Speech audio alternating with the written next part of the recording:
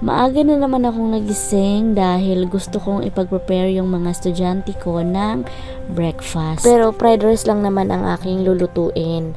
Pero baka kulangin tayo kasi medyo marami kami.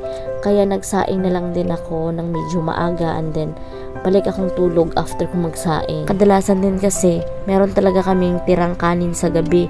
Pero hindi naman sila mahilig kumain ng ano, ng tirang kanin. Kaya niluluto, ginagawa namin fried rice kahit walang sahog, kahit walang hotdog, itlog, ano ba dyan, ubos yan, basta fried rice. Idinipros ko na lang din yung hotdog at saka beef na chorizo para mamaya malambot na siya at madali na lang lutuin.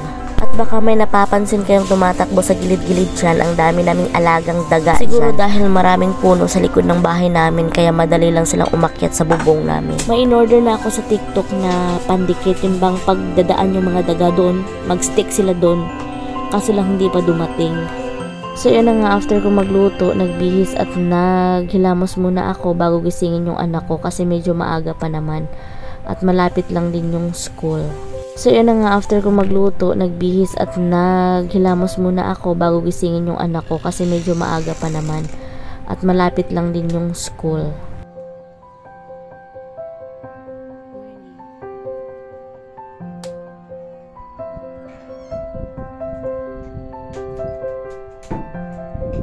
So after kong gisingin yung anak ko ay niluto ko na yung fried rice at saka luto na rin ako ng hotdog.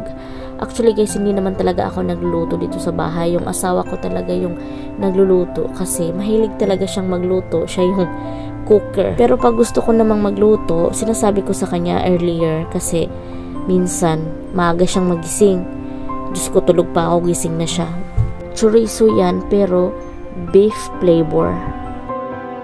Charan! Tapos na. So, ayan prepare ko na yung misa at saka medyo dinagdagan ko na lang din yung hotdog kasi yung pamangkin namin dun sa kabila bibigyan ko din and then nagluto na rin ako ng tuyo. Asawa ko pala.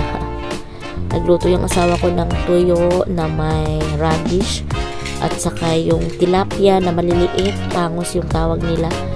At saka yung nukos yung pusit ba? Yun yun yung ulam namin. Ewan ko kung na-try nyo na yung tuyo na ganito, yung tilapia na maliliit. Yan ang sarap guys, lalo na pag ano, bagong luto, napaka-crunchy.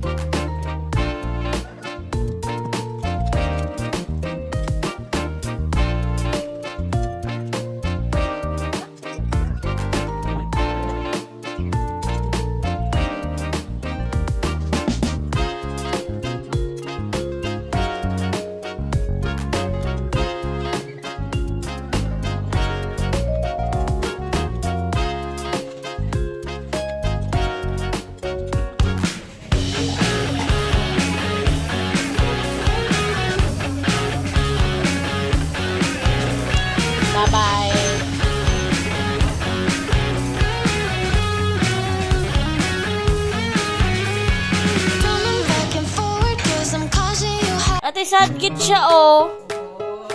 Si Chay. Wala si Mocha, wala si GB, wala si Mami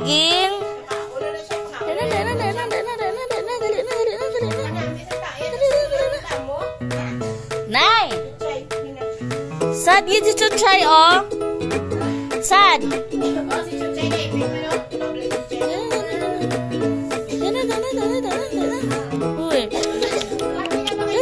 Lalain!